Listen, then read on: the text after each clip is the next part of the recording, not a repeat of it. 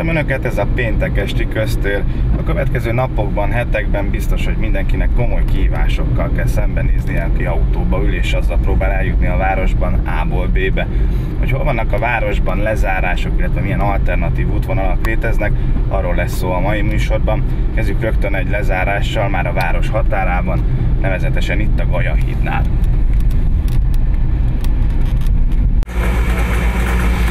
Az országban elsőként használják a szakemberek ezt a gépet. Jelenleg a szigetelés zajlik. Ezt követően egy kiegyenlítő és védőbeton réteget húznak rá, közben a korláttartó betonzsaluzása zajlik. Jövő héten fölkerülnek a korlátok, kett környékére várható az egyik, hétvégére a másik, és azt követően a héten még, már a jövő hét vége fele, megkapja a teljes aszfaltburkolatát a híd, és néhány nap marad arra, hogy az összekötő részeket, a régi út és a híd közötti összekötőket e, megcsinálják, és a tervek szerint, legalábbis a Volán így tudja, meg mi is így tudjuk, hogy 20 14-én, 24 órától, tehát az a munka üzemkezdettől 15 hajnalba ráengedik a autóbusz forgalmat példaértékű, egy, egy ilyen kemény munkát ilyen szoros határidővel, de elvégeztek. A híd építése nem fejeződik ezzel be, hisz az alsó részeknél még van bőven feladat. A Fekete-hegy szárazrétiek hogyan ö, viselik ezt? Jól viselik, sőt vannak olyan megjegyzések, hogy könnyebben kijutnak a körforgalomból, mióta ez a forgalmi rend van. Visszafele vannak már problémák, illetve a különböző belső városrészi útcsatlakozásoknál nagy a zsúfoltság, de összességében finoman annyit jegyeztek meg, mennyivel könnyebb így kijutni. Bízom benne, hogy azt a döntést, amit akkor meghoztunk, hogy így legyen, akkor is már pozitívan fogadta a többség, és érezték, hogy ezzel valóban elkészülhet határidőre, pontosabban egy olyan időre, amikor még nem túl nagy a forgalom. A híd teljes egészében mikorra fog elkészülni? A teljes egészében a híd október végéig készül el, ez is terv szerint halad, és igazán kemény munkát végeztek a hídépítők, az látszik. Volt olyan időszak, amikor éjszaka is 20-30-an dolgoztak egyszerre a hídon. Vannak ugyan olyanok, akik megjegyzik, hogy néhány embert láttak lézengeni, lehet, hogy akkor szédült le épp a hídról a melegtől. Úgy néz ki a határidőt tartva, augusztus 14-én évféltől átveheti a forgalom a megújult utat. Helyes döntés volt az teljes hitzár, hisz nyugodt körülmények között tudtak alkotni a kivitelezők. Ez itt a helyszínen is egyértelműen látszik, és ez lehetővé teszi azt, hogy tartsák a határidőket is. Ez tanulságként mondom, ahol most a városban nagyon sok helyütt zajlanak felújítási munkátok, és vannak háborgások, így lehet igazán alkotni, dolgozni és határidőre elkészülni. Most jelen pillanatban a hídnak a szigetelése zajlik, az országban először alkalmaznak ilyen jellegű technológiát szigetelésre, mint ami a mai napon történik.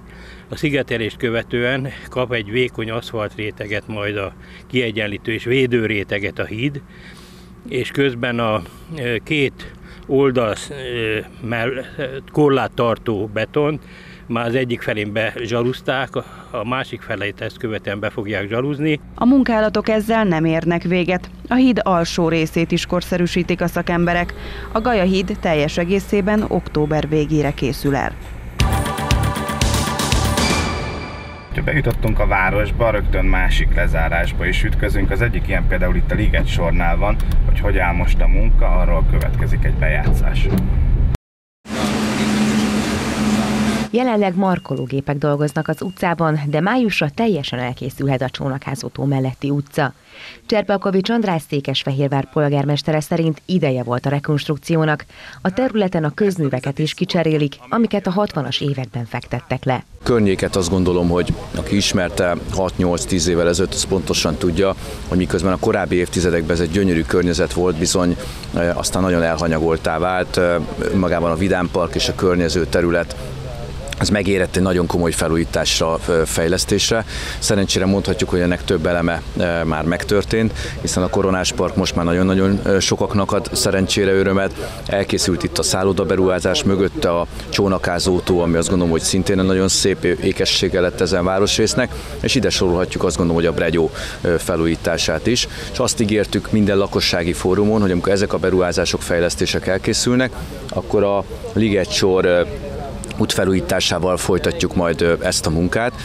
Természetesen a szakemberek jelezték, hogy érdemes lenne ezzel a beruházással együtt a közműveket is kicserélni, hiszen ahogy itt most a bejáráson el is hangzott, a 60-as években elhelyezett vezetékekről van szó, tehát nyugodtan mondhatjuk, hogy megérettek ezek már a cserére. Ráadásul az egyik legfontosabb vezetékrendszer megy itt a Liget sor alatt, úgyhogy így kerül most sor erre a beruházásra, egy kb.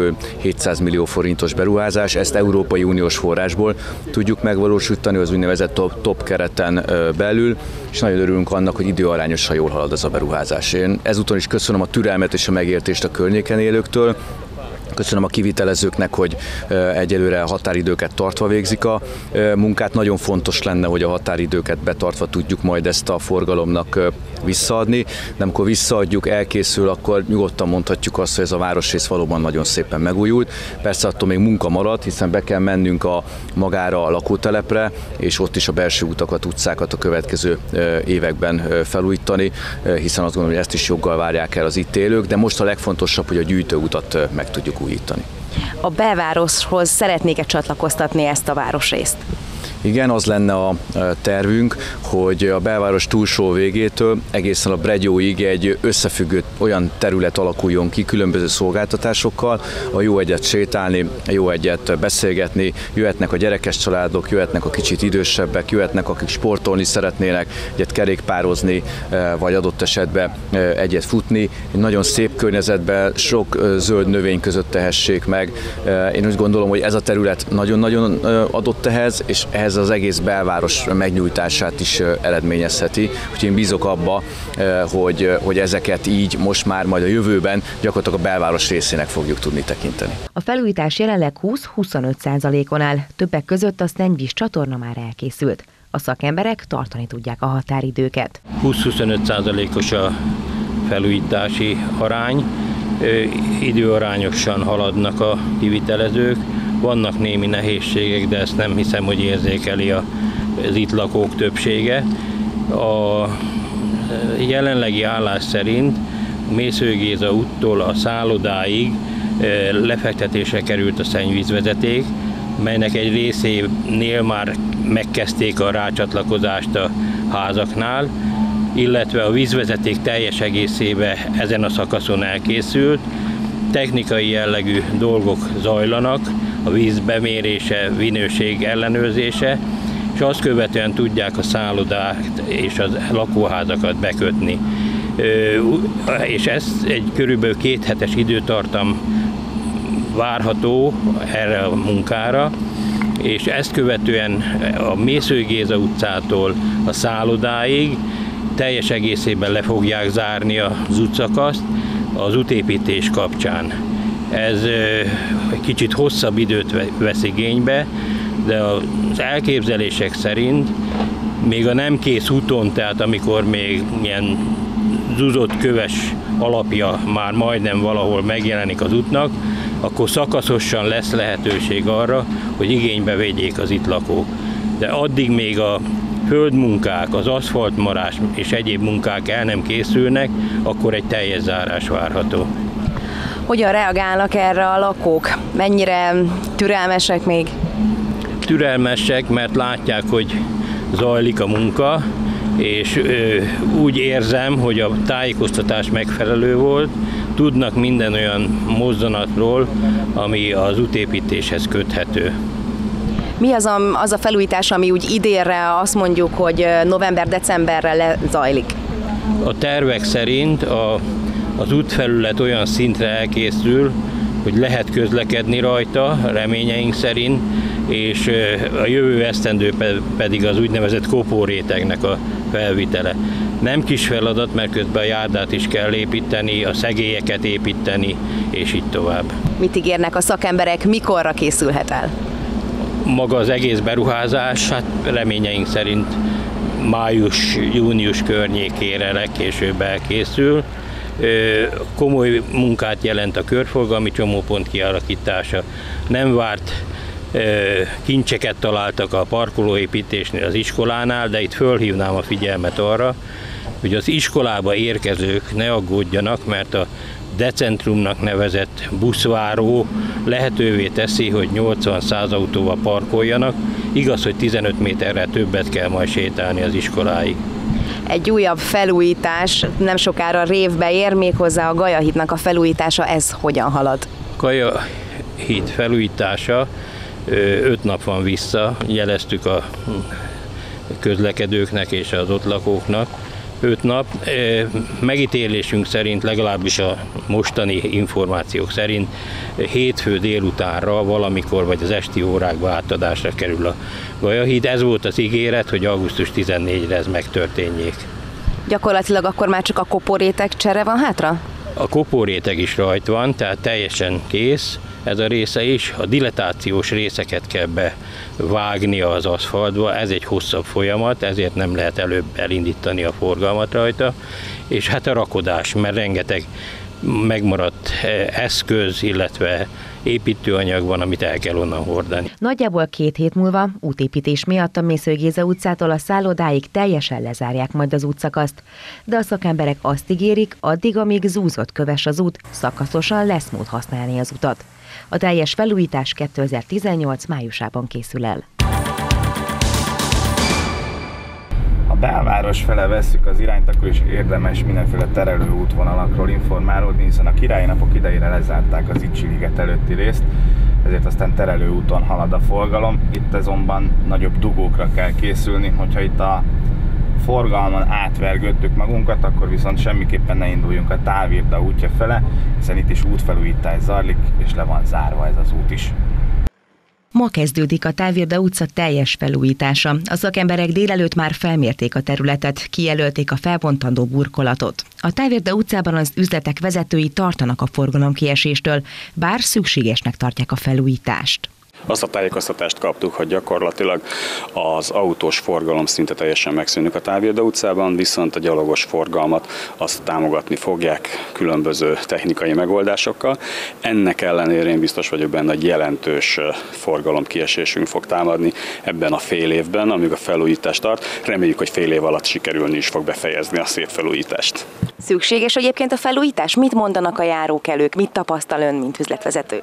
Hát nap mint nap itt vagyunk, látjuk, hogy azért ez a Távirda utca nem a legszebb utcája volt Székesfehérvárnak, úgyhogy nagyon-nagyon vártuk egyébként a felújítást, és remélem, hogy egy nagyon szép kis félig sétáló utca, félig autóval bejárható utca lesz belőle.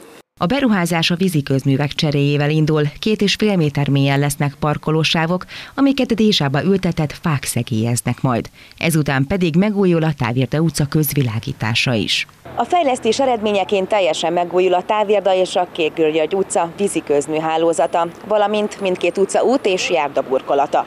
A munkálatok várhatóan 6 hónapot vesznek igénybe, addig is kérik a környéken élők türelmét. A munkálatok érintik a Távirda és Kérgőgyörgy utcák Budai úti csomópontjait is. Ezért nem csak a Távirda utca, hanem a Budai út, József Attila utca és a Várkörút közötti szakasz augusztus 7 és 23-a között lezárásra kerül.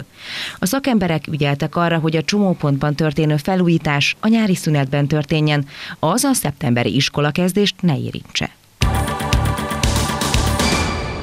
A Távérda, valamint a Kéglő György utca közműfelújítási munkálatai miatt lezárták a Budai út egy szakaszát is, hogy két kereszteződésben, a Kéglő György és a Távérda utcák folytatásában kicseréljék a csapadék, a szennyvíz és ivóvízvezetékeket.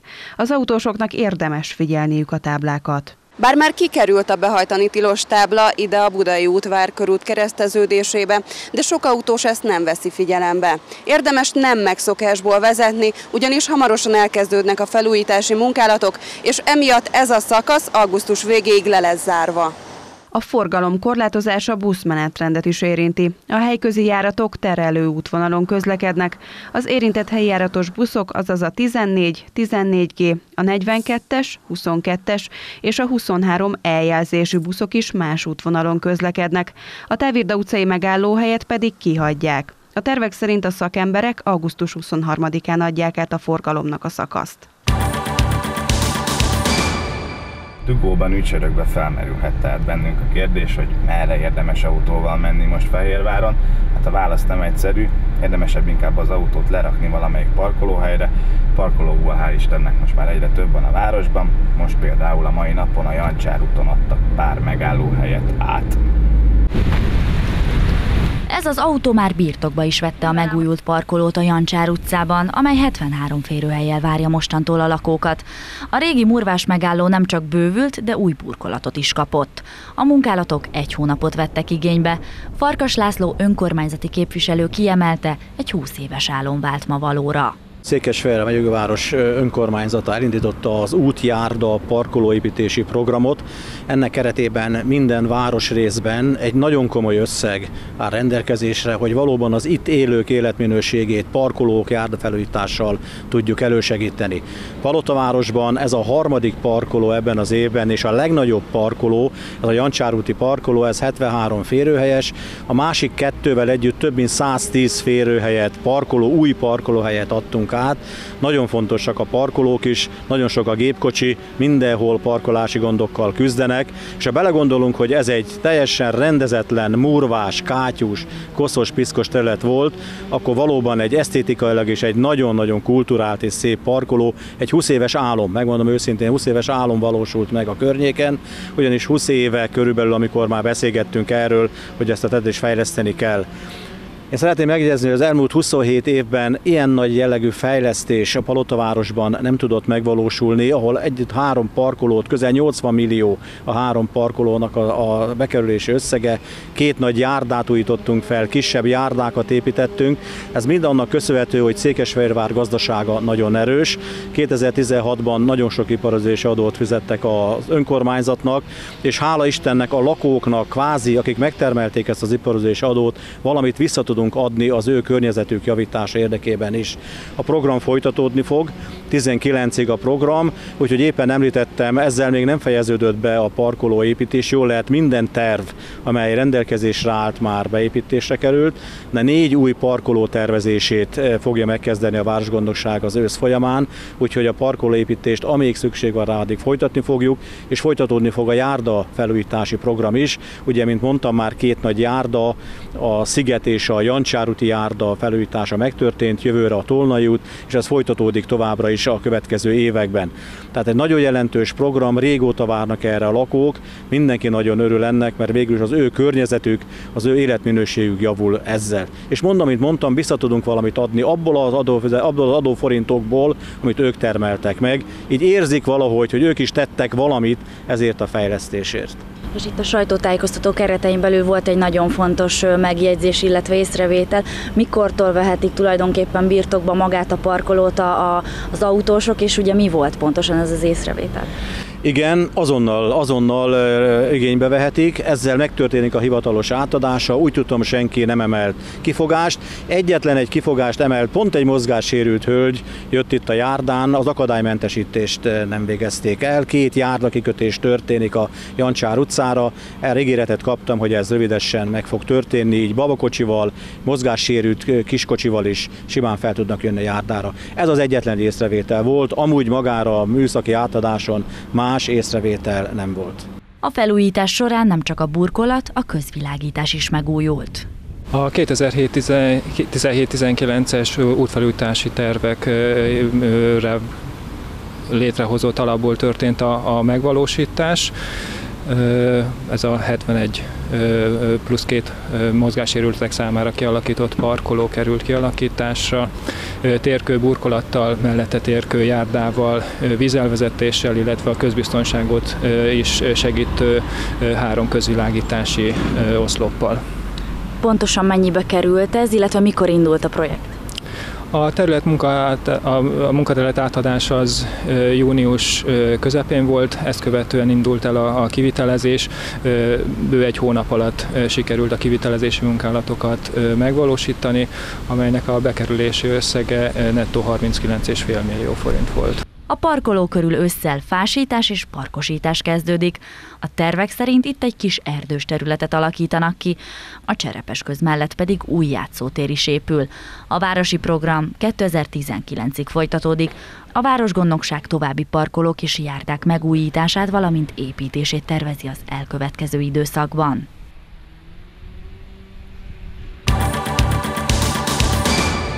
Mindenképpen autóval szeretnénk megközelíteni a belvárost, akkor is érdemes a kocsit letámasztani valahol, erre például kiválóan alkalmas a ma átadott Palotai úti parkoló. 110 autóval több parkolhat mostantól a belvárosban. Az önkormányzat évelején döntött a város komplex parkolóhálózatának fejlesztéséről, melynek révén a belváros peremén a következő három évben ezer darab új parkolóhelyet alakítanak ki. Ezeket ingyenesen használhatják az autósok. A város polgármestere távlati célként elmondta, a későbbiekben ezen a területen épülhet meg az eredetileg a Koch László utcába tervezett parkolóház. Itt a környék közlekedés az mindenképpen indokolta, hogy a parkolófelületet növelni tudjuk, hiszen ha belegondolunk, akkor erről a területről nagyon könnyű a belváros megközelítése. Most is nagyon komoly rendezvények jönnek, ahol este 10-15 ezer ember eh, egészen biztos, hogy megfordul a belvárosba, egy jelentős részük eh, autóval érkezik, itt el tudják helyezni az autójukat, de akár a színház is megközelíthető innen egy kellemes rövid sétával.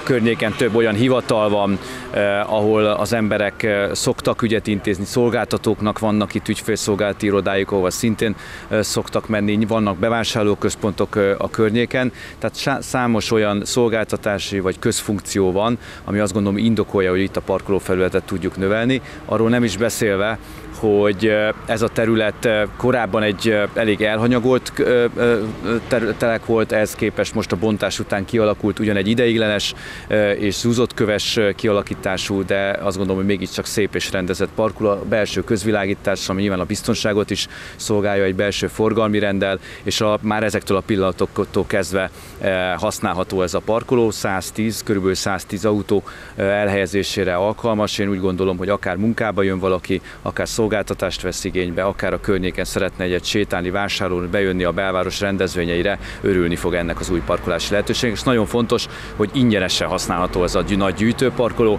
tehát nyilván itt egy ideiglenes kialakításról, kővel ellátott burkolatról van szó, úgy gondoljuk, hogy ez úgy illik, hogy ez ingyenesen legyen használható. Biztos vagyok benne, hogy ez is azt gondolom, hogy itt a buszállomás közelségében is nagy sikert fog aratni, és sokan fogják ezt a parkolófelületet használni. Mind biztosak vagyunk, hogy az a több mint 70 70 parkoló, amit ma e, Farkas képviselő úr e, avathatott e, önkormányzati beruházásként a Palottavárosba, az is egy nagy segítséget nyújt, és elhangzott városgondok úrtól, hogy az Esperantó tér felújítása pedig e tekintetben megtörtént, tehát ott várhatóan a hét végén, vasárnaptól vagy a jövő hét elejétől azok a parkolók is használhatók lesznek. Az önkormányzat a későbbiekben is keresi -e azokat a területeket, ahol parkolókat alakíthat még ki a városban? Igen, szeretnénk azonban egy-két nagyobb gyűjtőparkolót is létrehozni. Itt például ezen a területen gondolkodunk, hogy ideális lehetne a terület. Nyilván néhány vizsgálatot még ez le kell folytatni, esetleg arról, hogy egy több szintes parkolóház jöjjön létre. Itt azt gondolom, hogy a Palotai út közelségében ennek lenne indokoltsága, hiszen nagyon-nagyon olyan, sok olyan dolog van itt a környéken, amihez ez a parkolási problémákat meg tudná oldani, de keressük a sűrű lakott városrészekben is, hogy hol lehet kialakítani parkolókat.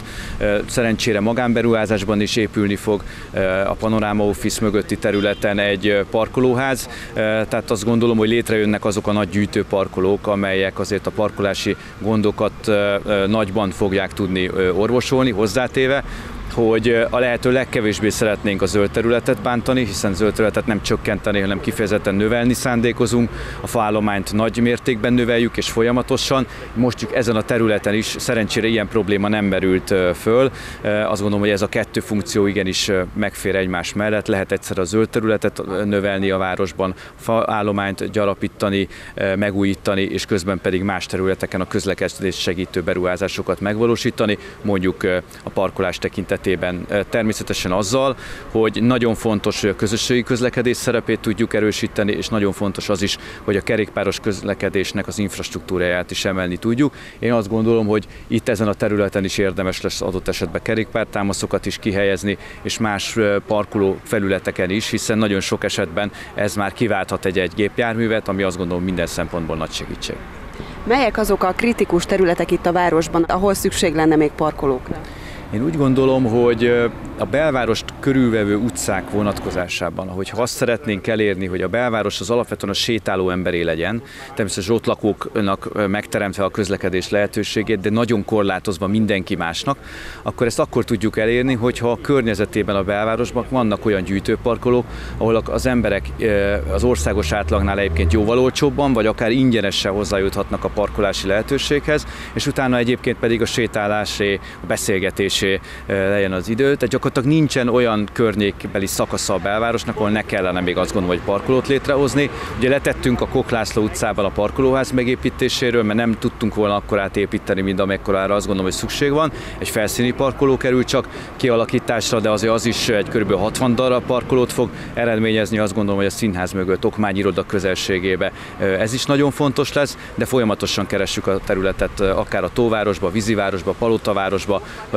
vagy akár a családi házas övezet szervezeteknek a közösségi tereinél, vagy egy-egy bolt környékén, postai, eh, postahivatal környékén, eh, ahol azt gondoljuk, hogy van ma parkolási probléma, és nyilván próbáljuk ezt megoldani. De mindig el kell mondani, hogy olyan drasztikusan nő a gépjármű szám a városban, ráadásul az országosan is a, az egyfőre első gépjármű szám itt a legmagasabb, hogy önmagában szemléletformálás nélkül nem fogjuk tudni az összes közlekedési problémát kezelni. Ez egy sok száz éve fejlődő város, nem egy zöld mezős városfejlesztés történik, valahol a sztyeppek közepén építünk egy új várost, hanem vannak olyan adottságok, a falakat nem tudjuk arrébb tolni, a belváros bizonyos adottságai nem tudunk változtatni, nagyon beszűkül akár a kisbudai, akár az Icsiligetnél lévő utcakaszoknak a, a nem tudunk több sávos utakat kialakítani, tehát muszáj, hogy, hogy igenis szemléletformálásba segítsük a közösségi közlekedést és segítsük a kerékpáros közlekedést, hova tovább adott esetben a gyalogos közlekedést is.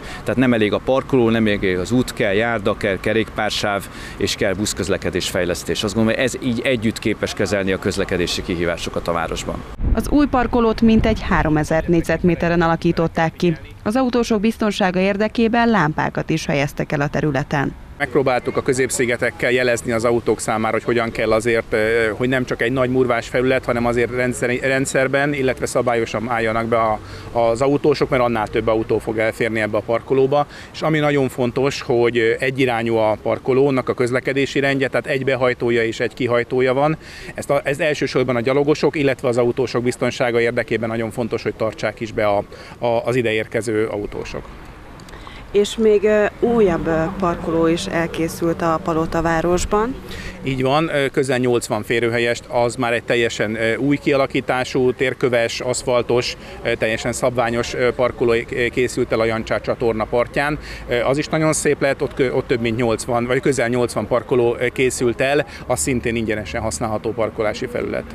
A városgondnok hozzátette, hogy hamarosan elkészül az Esperantó tér aszfaltozása is, így várhatóan vasárnaptól már azt a parkolót is újra lehet használni. Közben pedig mi is célba értünk, ez volt már a köztér. Aki teheti a következő napokban inkább gyalogosan, biciklivel vagy tömegközlekedéssel igyekezzen célba érni. Én köszönöm megtisztelő figyelmüket, hogyha mégis autóval mennek, vezessenek óvatosan, viszontlátásra!